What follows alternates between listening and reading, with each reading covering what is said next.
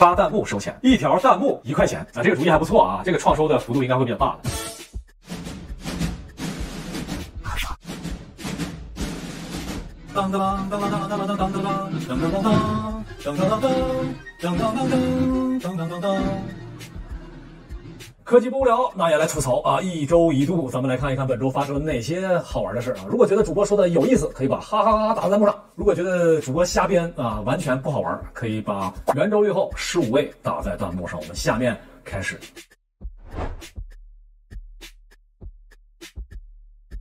那本周呢，最值得吐槽的应该还是 小米。那咱们一起来看看小米这周发生了哪些事儿呢？小米十二 S Ultra 毫无疑问是最近几周大家非常关注的一台热点机型，关于它的争论也是很多呀。来吧，同学们，问大家一下啊，你们觉得小米十二 S Ultra 它这回冲击高端成了吗？觉得成了打个一啊，觉得没成打一半。看一下同学弹幕。那根据呃外媒爆料以及统计呢，小米十二 S Ultra 的硬件成本高达三千五百元左右。这个硬件成本实话实说不算低。还有同学说不对呀，这个小米。十二 S Ultra 它不是五千九百九十九，你三千四百八十六，好像雷军当年说过什么利润不超过百分之五，你这利润都多少了？但是呢，这个咱再说一下啊，这是硬件成本，你得考虑仓储啦、设计啦，还有米 U 啊，米 UI 是。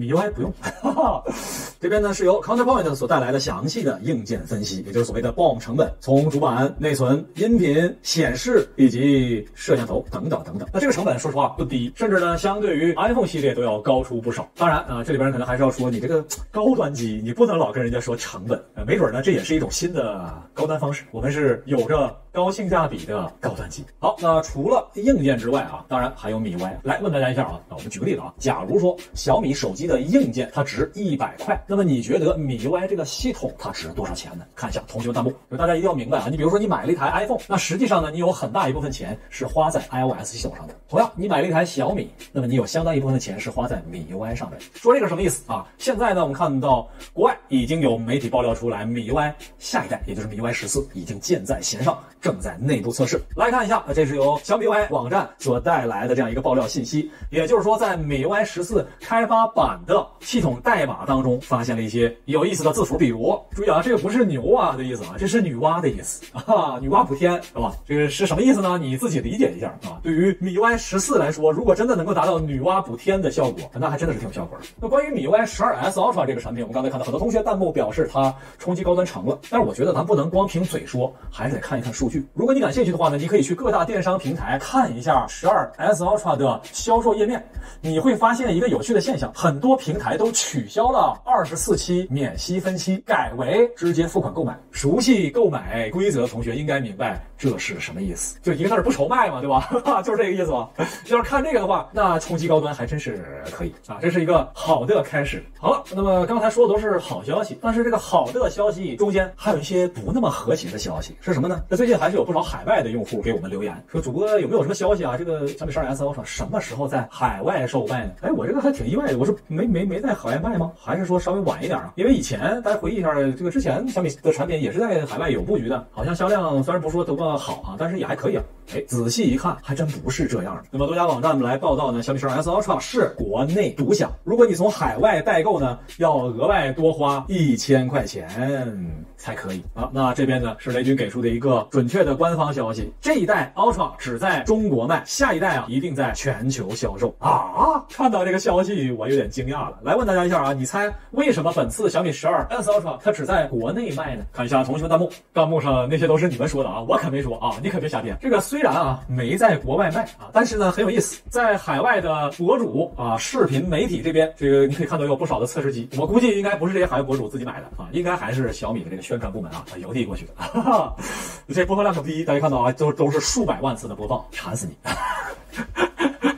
这个咋说呢？也应该说啊，这个对徕卡在全球范围内的认知啊，啊，这还是很高的。海外用户呢，想买这个产品啊，这也是真实的啊。那买也确实是买不着，这也确实是实事。现在你看，这个海外代购得多花一千块钱，我自己觉得这不是一个特别好的事情。为此呢，我提议海外的小伙伴们，如果想买啊，你可以找我，我给你代购啊。这个不少的这个这个这个国外消费者表示，Why Why 为什么没用？没没没没问题啊，我可以给你代购。而且我啊，大家知道啊，了解我的人都知道啊，我这个人是非常良心的。大家看到这个价格。小米十二 S Ultra 啊，官方售价五九九九元，海外代购多收你们一千，这一点也不地道啊！我啊，我也代购，但是我不多收你一分钱。官方卖多少钱，主播我就卖你多少钱。官方价格五千九百九十九美元，对吧？我绝对不带多收你一分钱的。官方卖这钱，我就卖这些钱，五九九九美元，我还包邮，怎么样？觉得主播良心的可以打一波六，好吧？欢迎海外的全球小伙伴来找我们代购，都没问题，一分钱不挣你，让你感受到我和其他黄牛的不一样。有的人说这个海外还有消费税，税我也给你包了，怎么样？什么叫大气？让你们老笑话我这个数学不好，我看谁还敢说我？但是啊，但是我自己觉得啊，小米呢还是应该考虑进军海外市场啊，不管是什么原因，海外市场是不能放松的。刚刚咱们说了啊，你看各大电商平台这个销量都不错，在京东销量它就不错，那你什么时候在东京的销量也上来了，那才是真正冲击高端、冲击成了，对不对？当然了，你可能担心现在夏天啊，东京那边比较热，但是呢，这本次骁龙芯片它也没那么热了，对不对？还是可以考虑进军海外市场的，是吧？正在看咱们节目的小米的小伙伴啊，把这个事儿跟雷总反映一下，海外在市场等待着你。不好意思，我我我可以去你代购嘛？是吧？好，下一个。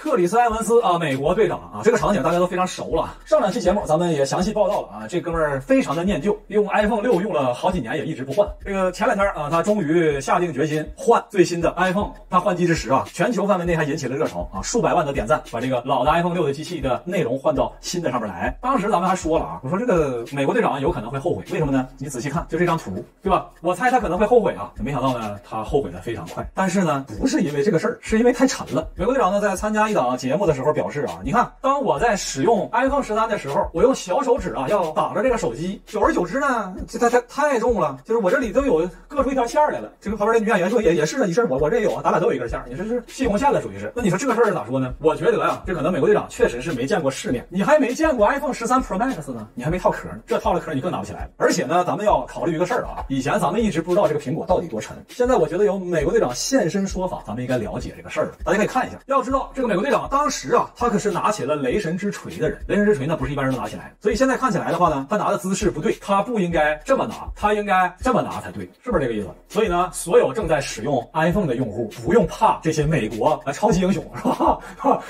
他们拿不起来的，大家拿都挺轻松的。我不光拿这个，我还能拿个充电宝呢，我还来问大家一下吧，就是你你你你们用的手机带手机壳了吗？带手机壳同学打个一，裸奔同学打一二，看一下同学们弹幕，果半斤是吧？绝非浪得虚名。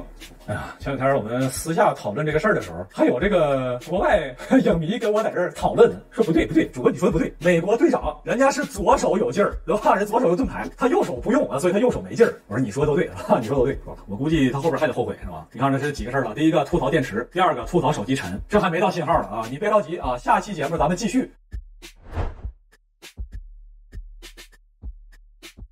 本周最大的槽点其实这个，这个优酷啊投屏收费，重点是优酷买了会员之后投屏还收费。如果你想把你看的这个视频呢要投到电视上去的话，你还得单独花一份钱。这个，哎呀，这个这个事儿出来之后呢，大家就很生气。咋说呢？反正网上也发生了一些辩论。首先，咱可以明确啊，你说，你说，你说投屏，对吧？就连 iPhone 它都有投屏啊，是吧？咱就随便拿一台手机，它都有投屏啊。这投屏也不是你们视频网站研发的，这不是手机企业研发的吗？那这也收费吗？那我那我觉得这个手机企业还挺冤的啊。手机企业好像没对这功能收费啊。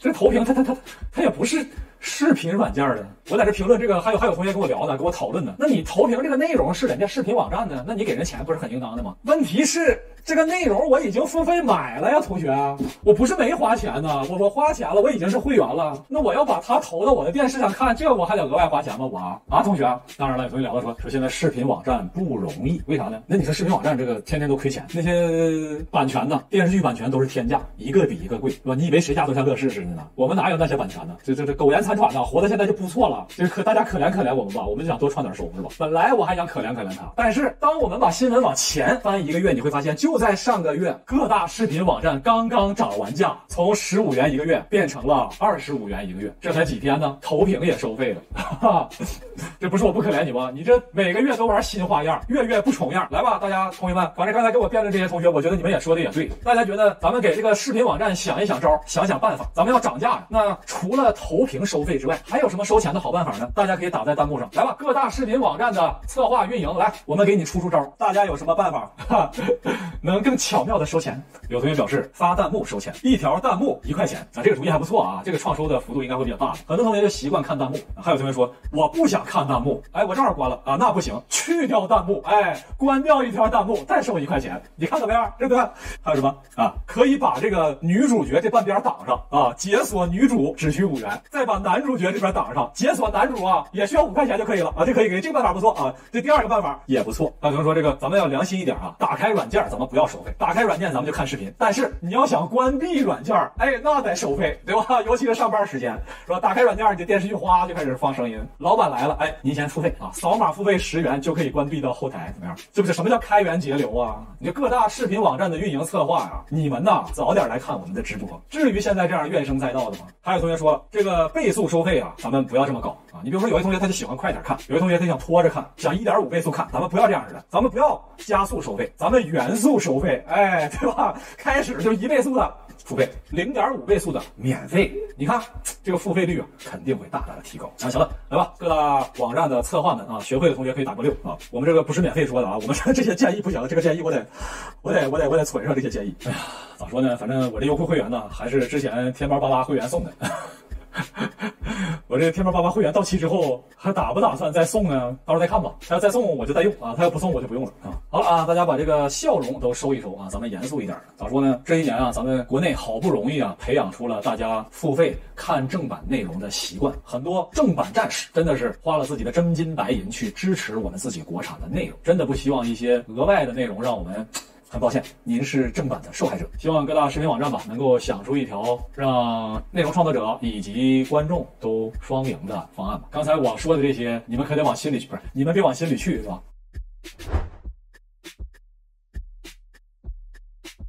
本周呃，关于 iPhone 十四没什么新消息，还是这个外观。来吧，正在看咱们节目的同学，你觉得已经习惯了的打个一啊，觉得不可能习惯打一个二。看一下同学的弹幕，距离 iPhone 十四的上市越来越近了这个外观呢啊，基本上就是这个外观。我的印象里边啊，好像上一次看这个外观，这个叹号还没这么粗呢，这怎么越来越粗了呢？愁死我了可。那关于这周它就没什么新消息吗？还真的有啊，因为在这周里面呢，发布了不少的 iOS 以及 iPadOS 的测试版本，在这测试版本当中呢，更多的测试人员发现了一些代码上的变化，是什么呢？就是在原本刘海两侧显示的区域，大家看到这一侧显示的区域呢是电池、WiFi 和网络信号，这是刘海。那么这些开发人员在对照了最新的 iOS 十六版本以及可能的 iPhone 十四的外观之后，发现一个问题，就是刘海变成叹号之后，在右侧所显示的信息仍旧是这些，是吧？什么意思呢？就是你原来刘海啊遮挡了这些，所以被迫呢我们只能显示这些，更多的信息你需要下滑才能看到。那么在变成了叹号屏幕之后，也就是说整个的屏幕增加了大量的可视面积。你看这么大的可视面积啊，这都是可视面积啊，是马里亚纳海沟了，属于是增加了这么多面积之后啊，它仍旧是显示这些，是吧？不会增加更多的显示信息，就是视觉统一了，是吧？视觉统一了。当然啊，即便如此啊，现在还是有很多同学不愿意相信这个事实。最近还有人给我发信聊说，主播你看的不对吧？为什么我看到的信息它是没有刘海、没有挖孔，是屏下摄像头啊？是吧？我说，那你你看的这是不是渲染图啊？是不是 iPhone 十五、十六、十七、十八、十九、二十啊？他说不是，就是 iPhone，就是今年要发布的 iPhone 十四。主播，咱俩打赌啊，就是这个。我相信苹果一定会给我带来这么高的一个颜值的。大家觉得这个是真实的吗？觉得是真实打一个一，觉得不可能，绝对不可能打一个二。看一下同学弹幕，我觉得这个图有可能是真的，但是但是他可能拿到了，实际是这个样子，这样是不是就合理了许多？那我要向这位同学道歉，对不起啊，你看的这张图它就是真实的。啊！但是呢，你可能是拿到了。我觉得这一代的 iPhone 十四，它就是这个外观啊，没有问题啊！而且我现在就给你实现了。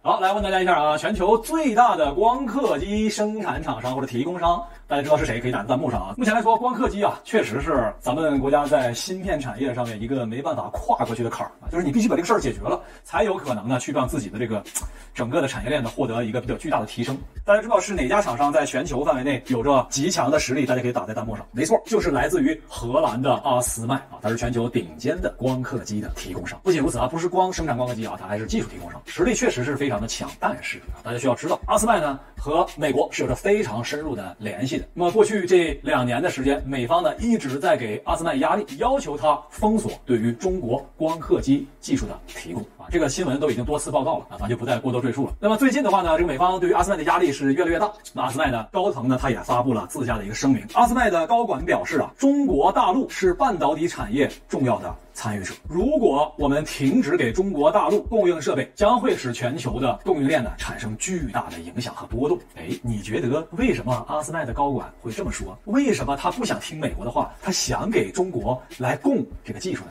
为什么？大家可以打在弹幕上。这事儿是这样的啊，如果你关注了过去这些年咱们国内这高科技企业和全球巨头打交道的经历，你就会发现一个现象：很多国外垄断的技术，如果它有一天突然想要主动卖给你的时候，它通常。说明一个问题，就是咱们国家这方面的技术快要成熟了。我可没具体说是啥，大家再回忆一下啊。之前很多的一些大型机械了，咱们自己造不了的时候，人家在垄断，一台大型机械上千万。后来咱们国内开始研发了，哎，逐渐开始做一部分的时候，人家那个机器突然就降到二十万，不限量供给你们国家。你们中国的企业可千万不能造这个呀，我们可害怕呀，你们可千万不能造我！求求你们了，大家能不能明白我所说的意思？我们再举个例子，大家回忆一下，智能手环刚刚开始面世的时候，那是在二零一四年，八年前，这个时候全球第一批巨头名字叫做 Fitbit，一个手环。售价是一千九百九十九元。两年之后，国内厂商开始批量生产手环，小米手环一百九十九元。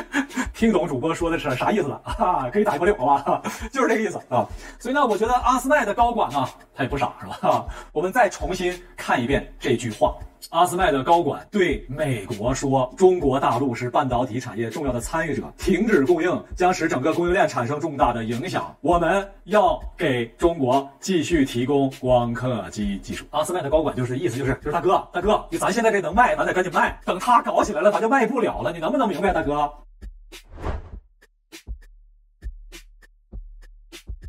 要说啊，全球科技巨头当中最具争议的人物是谁啊？那毫无疑问呢，就是埃隆·马斯克。这一周里边，他要不上两次热搜啊，都感觉奇怪，是吧？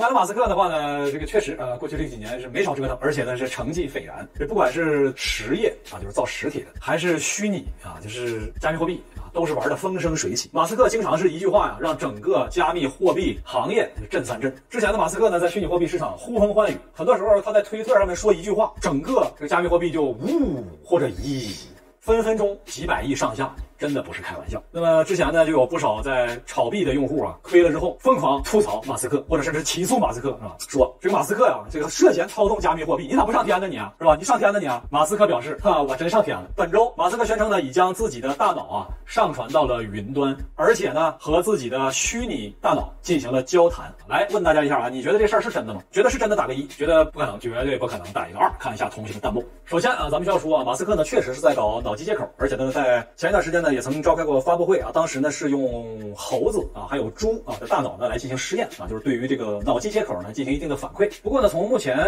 给出公开的这些效果来看啊，它更多的还是一个非常早期起步的阶段。也就是说呢，这些技术距离真正实现恐怕还早。但是呢，它不排除它真能造得出来。毕竟若干年前马斯克说他要上火星的时候，大家都觉得他在开玩笑啊，大忽悠。但是呢，你看他现在闹出了这么多的星链卫星，谁能说他下一步会弄不成呢？现在脑机接口也是如此啊，所以呢，咱们宁可信其有啊，也不可信其有，是吧？咱们来分析分析，是吧？这个马斯克现在已经在云上了，那是不是就要成为马云？啊，不是，这什么乱七八糟的？那么马斯克呢，等于是把自己的大脑存在云端。那某种意义上说，应该是把自己的思维存在云端。啊，云端是啥？那肯定是有一个存储空间，也就是云盘嘛。那么你可以设想一下，如果它存在了百度云盘的话，会发生什么效果呢？百度表示啊，该内容存在违规啊，不是，百度表示您存储的内容啊，不能超过八秒。这个知道这个梗的可能都已经有孩子了，是不是？还有什么？非常抱歉，本视频可能由于以下原因导致无法整个播放。喂喂喂喂，哎，见过这个画面，同学打个一啊。啊从来没见过打一个二，看一下同一个弹幕。马斯克有一天打开自己网上的脑袋，想聊聊天儿。咦，为什么变成了这样？此时，那些被马斯克在炒币的时候割韭菜的用户表示：“我们并不关心他的大脑怎么传上云端，我们只关心怎么删除本地备份。”科技不无聊，那也来吐槽。想看到我们疯狂吐槽各家厂商，关注一下我们，下周再见。啊，当然，如果你想让更多的人看到我们这个疯狂吐槽，也欢迎给我们点个赞，你投个币也行啊！不要走啊，不要走啊！感谢大家啊，来看我们的吐槽，我们下周再见吧。祝大家都有强壮的身体，多赚 money，天天都能休息，每天还有花不完的法定货币。感谢大家的点赞。哎，这是谁掉的硬币啊？给大佬们磕头了。下周别忘了还来玩啊！来了一条短信，大家可以看一下。你好，我是马斯克，我困在网盘当中了。真实世界里的马斯克是假的，是克隆的。你现在给我转一百元，等我找回自己的身体，就把特斯拉送给你。大家觉得这是真的还是假的？觉得是真的打个一，觉得是假的可以把圆周率后十五位打在弹幕上。